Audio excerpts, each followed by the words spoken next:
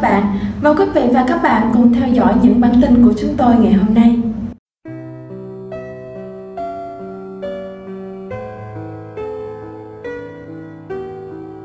Các bạn thân mến, mời các bạn nghe tiếp phần 5 của truyện ngắn Người con dâu. Ngày hôm sau, An Phúc phải ra chợ. Chàng tìm người khiêng kiệu và dương của cô dâu, người đánh chiên trống và sáu người đi cành kiệu cô dâu. Chàng mất cả một ngày mới tìm thuê được, rồi chàng đưa tất cả về nhà cho ăn uống và định giờ họ phải tới trong ngày cưới. Sau khi họ đi rồi, chàng đến phòng cha mẹ để bàn về chi tiết bữa tiệc cưới ngày hôm sau, ghi tiền từng món một. Rồi tay cầm cuốn sổ kế toán, chàng kiểm điểm lại những đồ cô dâu mang về nhà chồng trong phòng con gái. Và lúc chàng trở lại phòng riêng thì chàng đã mệt đừ. Sau khi tắm xong, chàng ngủ thiếp đi trước khi Thôi Mẫn ở nhà bếp lên. Ngày hôm sau là ngày trước đám cưới và chàng còn bận rộn hơn nữa. Bà con bạn bè mang đồ mừng đến chúc mừng và mãi đến tối họ mới ra về. Ba bàn tiệc dọn ra mời khách ăn uống, mặc dù Thôi Mẫn không lúc nào ngơi tay trong bếp, nhưng nàng cấm Vân Thụy không được giúp phụ nàng trong những ngày cuối cùng còn là con gái. Sau khi người khách cuối cùng ra về rồi, chân nàng sưng đến nỗi nàng không thể tháo giày ra được. Vậy mà nàng vẫn phải giúp Trương Tẩu lau nhà bếp và phải coi con ở thu dọn phòng ăn. Đèn trong phòng cha mẹ chồng nàng đã tắt khi nàng làm xong mọi việc và nàng đi về phòng con gái. Vân Thụy vẫn mặc chiếc áo thêu ngắn tay nhẹ màu hồng mà nàng mặc từ sáng, đang ngồi bên cạnh đèn và nghe lời ông bố cần dặn. Đại trí ở trong phòng riêng, tập thổi khẩu cầm. Âm điệu của chiếc khẩu cầm tạo ra một bầu không khí hoang vắng cho buổi tối yên tĩnh. Thôi Mẫn bật khóc khi nàng ngồi xuống cạnh con gái. Nàng rất mệt và sự hồi tưởng đến ngày cưới của chính nàng 20 năm trước càng làm cho nàng nghĩ nhiều hơn đến cái tương lai bấp bênh của nàng. An Phúc khẽ gọi, Thôi Mẫn, Thôi Mẫn, thế này nghĩa là gì? Ta đã khuyên được Vân Thụy không nên lo lắng, nàng lại muốn làm cho con gái khóc nữa phải không? Sưng Đức là một thanh niên rất tốt, Vân Thụy không cần phải lo ngại gì khi sống với nó. Vào cái thời kỳ loạn lạc này, tìm đâu được một người con rể tốt như nó. Mẹ ơi, con sẽ về thăm mẹ mỗi tuần hai hoặc ba lần, mẹ có thể chắc như thế. Ta đã quyết định đưa mẹ con đi Tượng Hải với ta rồi, sau khi con lấy chồng ấy. Có lẽ ta giữ mẹ ở lại với ta cho tới khi hết chiến tranh. Ở đây đã có cô của con săn sóc ông bà rồi. Thế thì tuyệt quá, con cũng vừa nói chuyện với mẹ về chuyện này tối hôm nọ đấy. Thế cha đã hỏi ý ông nội chưa? Thôi Mẫn chợt ngừng khóc, lắng nghe câu trả lời của chồng. Mấy hôm nay ta quá bận với chuyện cưới của con, làm gì có thì giờ nói chuyện với ông bà. Ngay khi con ngồi lên kiệu cô dâu, ta sẽ nói chuyện với ông bà, chắc chắn là ông bà sẽ không phản đối. Mẹ con không được một ngày thoải mái trong suốt 20 năm qua. Bây giờ con và Đại Trí đã lớn rồi, mẹ con phải được hưởng hạnh phúc đôi chút chứ. Vân Thụy nắm tay mẹ và nói thật chiều mến. Đúng vậy, mẹ ơi, bây giờ mẹ đừng buồn nữa nhé. Có thể Sương Đức và con sẽ đi Thượng Hải thăm mẹ. Có lẽ chúng con cũng dọn lên Thượng Hải nữa và sống bên cạnh nhà mẹ. Như thế thực là tuyệt diệu phải không mẹ? Thôi Mẫn không thể không mỉm cười qua làn nước mắt. Con thật là ngớ ngẩn, chuyện này vẫn còn là chuyện trên trời mà con tưởng như con đã nắm được trong tay rồi vậy.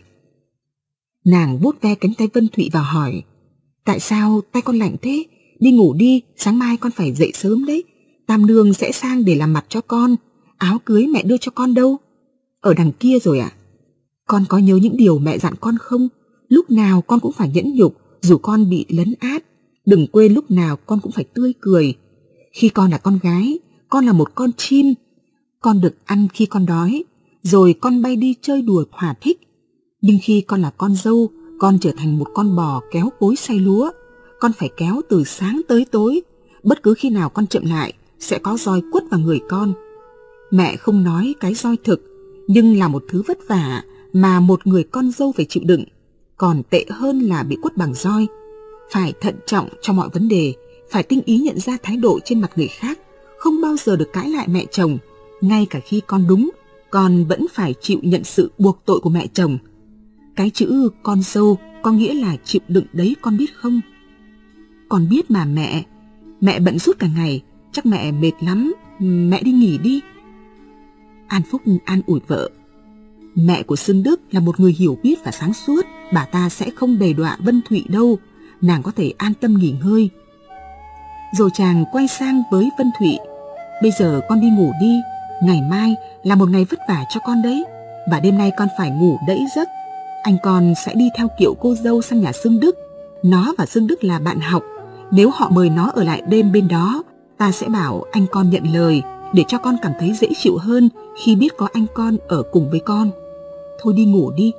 Đại trí, thôi đừng thổi kèn nữa, con biết bây giờ là mấy giờ rồi không? Vào phòng riêng, Thôi Bẫn ngồi xuống giường, đặt chân vào cái ghế để chân và bắt đầu xoa bóp. An Phúc quỳ xuống bên cạnh vợ, giúp xoa bóp chân nàng. Vội vàng co chân lại, Thôi Mẫn nói, chàng còn mệt hơn em, chàng đi ngủ đi. Ôi, bằng giờ này ngày mai Vân Thủy sẽ không còn là của chúng ta nữa. Dù con trai hay con gái, chúng nó cuối cùng rồi cũng đi mất. Giọng nàng im dần và rút ra một chiếc khăn tay từ trong ống tay áo. Thôi mẫn, nàng lại như thế rồi. Dù cuối cùng các con của nàng xa nàng thì nàng vẫn còn có ta.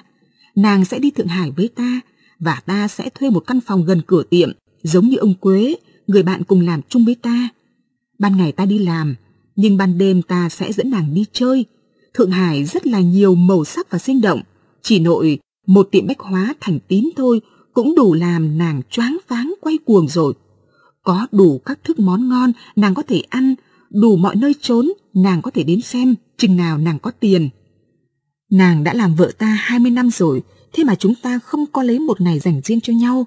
Lần này, dù thế nào mặc lòng, ta sẽ đem nàng đi Thượng Hải, và ta bảo đảm chỉ hai ngày sau khi nàng tới Thượng Hải, nàng sẽ quên Vân Thụy ngay. Thôi mẫn cúi xuống, kéo chàng lên và để chàng ngồi cạnh nàng. Nắm chặt tay chàng, nàng hỏi, chàng có thực sự đem em đi Thượng Hải không? Nàng thường gọi chồng là cha thằng đại trí khi có mặt người khác, nhưng khi chỉ có hai người, nàng không bao giờ gọi tên chàng. Trong suốt 20 năm, chưa lần nào nàng gọi cái tên An Phúc. Lần này, chàng nhất định đem em đi theo ư? Dĩ nhiên rồi, trên đường về từ Thượng Hải, ta chỉ nghĩ đến chuyện này thôi. Nàng buông tay chồng ra để bóp chân. Mẹ sẽ không đồng ý đâu.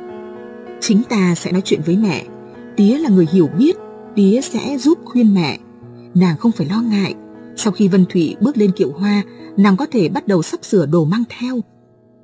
Nàng vẫn cúi đầu. Mẹ sẽ không đồng ý.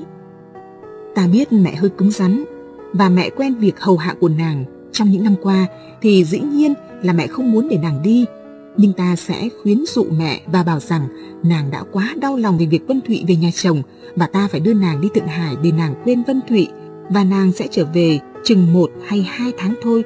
Mẹ không thể ngăn cản nàng đi nếu nàng chỉ đi trong khoảng một thời gian ngắn. Một khi nàng đã đi khỏi đây rồi, nàng có thể ở lại 6 tháng hoặc một năm. Mẹ không có cách gì kéo nàng trở về.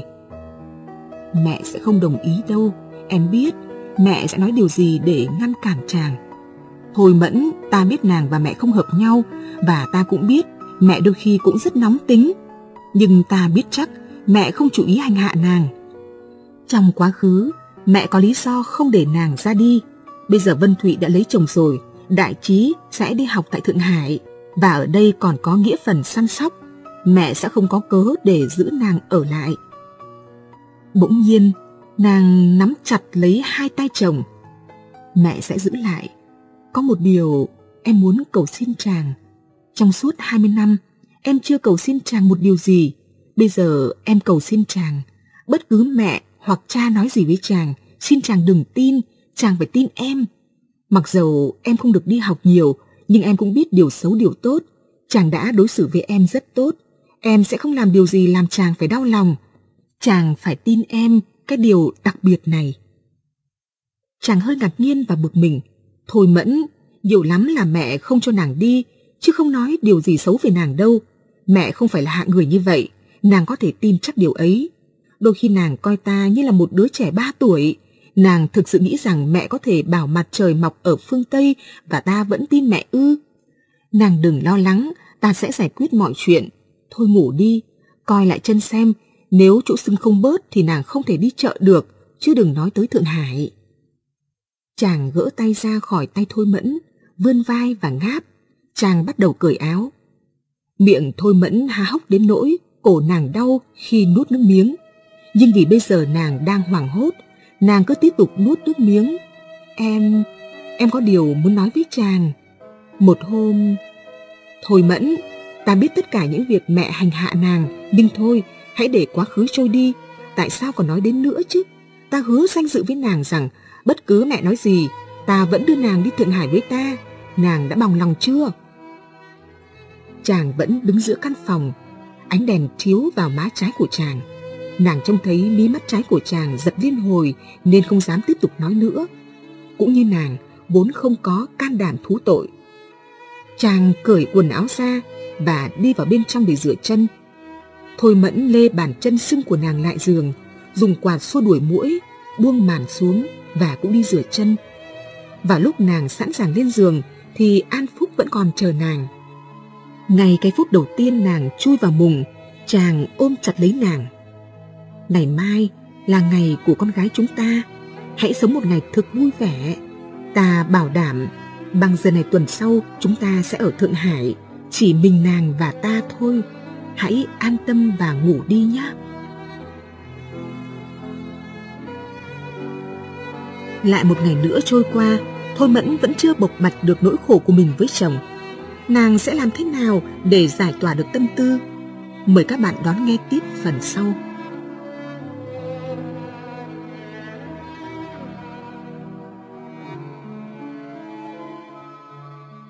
Chàng, trong suốt 20 năm, chưa lần nào nàng gọi cái tên An Phúc. Lần này, chàng nhất định đem em đi theo ư? Dĩ nhiên rồi, trên đường về từ Thượng Hải, ta chỉ nghĩ đến chuyện này thôi. Nàng buông tay chồng ra để bóp chân. Mẹ sẽ không đồng ý đâu. Chính ta sẽ nói chuyện với mẹ.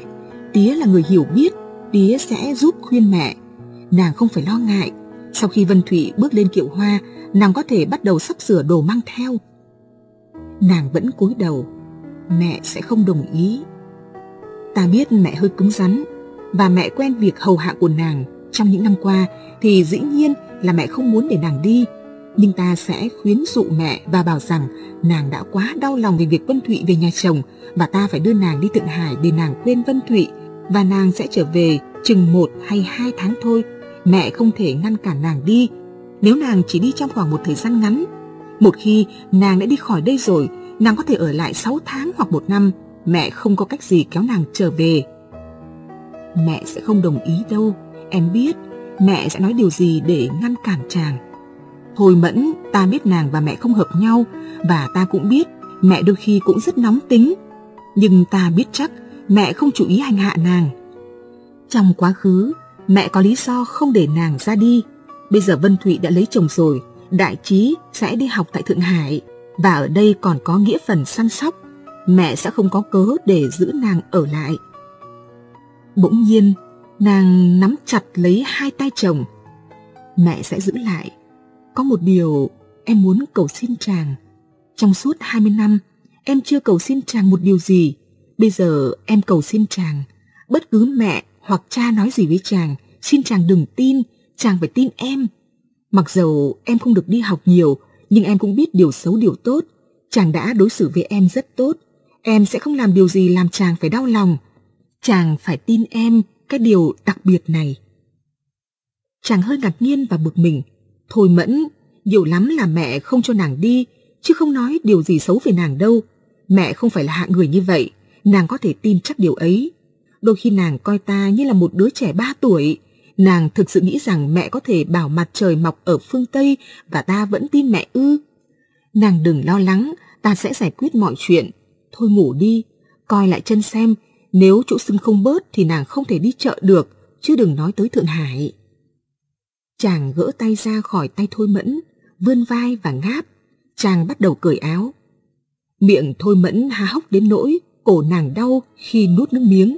Nhưng vì bây giờ nàng đang hoảng hốt, nàng cứ tiếp tục nuốt nước miếng. Em, em có điều muốn nói với chàng. Một hôm... Thôi Mẫn, Ta biết tất cả những việc mẹ hành hạ nàng, nhưng thôi, hãy để quá khứ trôi đi. Tại sao còn nói đến nữa chứ? Ta hứa danh dự với nàng rằng, bất cứ mẹ nói gì, ta vẫn đưa nàng đi Thượng Hải với ta. Nàng đã bằng lòng chưa? Chàng vẫn đứng giữa căn phòng, ánh đèn chiếu vào má trái của chàng. Nàng trông thấy mí mắt trái của chàng giật liên hồi nên không dám tiếp tục nói nữa. Cũng như nàng, vốn không có can đảm thú tội. Chàng cởi quần áo ra và đi vào bên trong để rửa chân. Thôi mẫn lê bàn chân sưng của nàng lại giường, dùng quạt xua đuổi mũi, buông màn xuống và cũng đi rửa chân.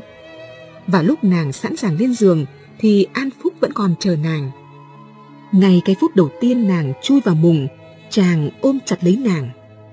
Ngày mai là ngày của con gái chúng ta, hãy sống một ngày thực vui vẻ. Ta bảo đảm bằng giờ này tuần sau chúng ta sẽ ở Thượng Hải, chỉ mình nàng và ta thôi. Hãy an tâm và ngủ đi nhé. Lại một ngày nữa trôi qua, Thôi Mẫn vẫn chưa bộc bạch được nỗi khổ của mình với chồng. Nàng sẽ làm thế nào để giải tỏa được tâm tư? Mời các bạn đón nghe tiếp phần sau.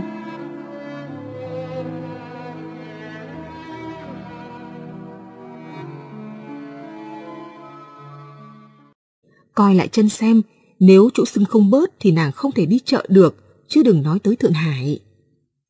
Chàng gỡ tay ra khỏi tay Thôi Mẫn, vươn vai và ngáp. Chàng bắt đầu cởi áo. Miệng Thôi Mẫn há hốc đến nỗi cổ nàng đau khi nuốt nước miếng. Nhưng vì bây giờ nàng đang hoảng hốt, nàng cứ tiếp tục nuốt nước miếng. Em, em có điều muốn nói với chàng. Một hôm... Thôi Mẫn, ta biết tất cả những việc mẹ hành hạ nàng, nhưng thôi, hãy để quá khứ trôi đi. Tại sao còn nói đến nữa chứ? Ta hứa danh dự với nàng rằng, bất cứ mẹ nói gì, ta vẫn đưa nàng đi Thượng Hải với ta. Nàng đã bằng lòng chưa?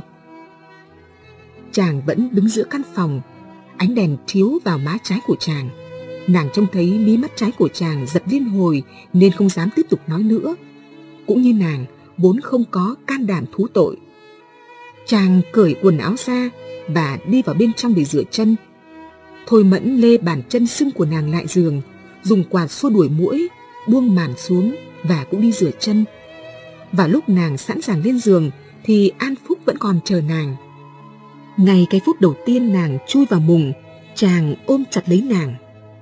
Ngày mai là ngày của con gái chúng ta, hãy sống một ngày thực vui vẻ.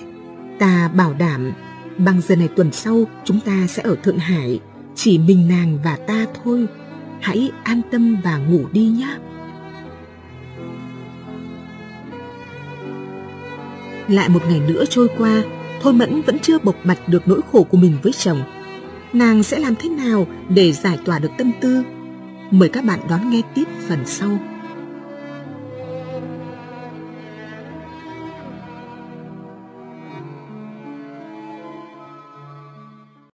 Và lúc nàng sẵn sàng lên giường thì An Phúc vẫn còn chờ nàng.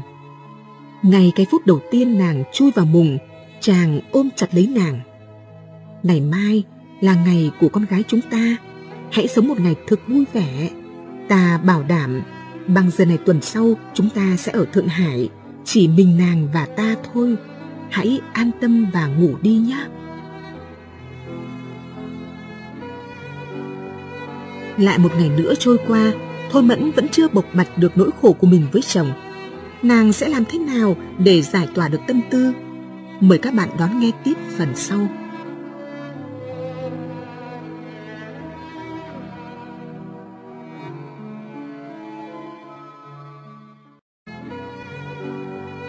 Lại một ngày nữa trôi qua, Thôi Mẫn vẫn chưa bộc bạch được nỗi khổ của mình với chồng.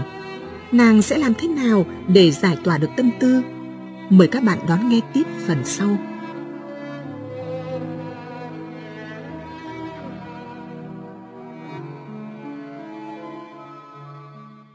Tiếp phần sau.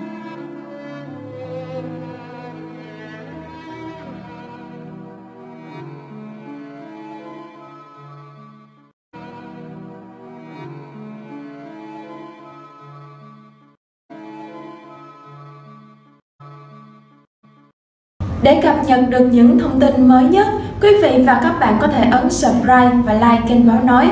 Cảm ơn quý vị và các bạn đã quan tâm theo dõi. Xin chào và hẹn gặp lại!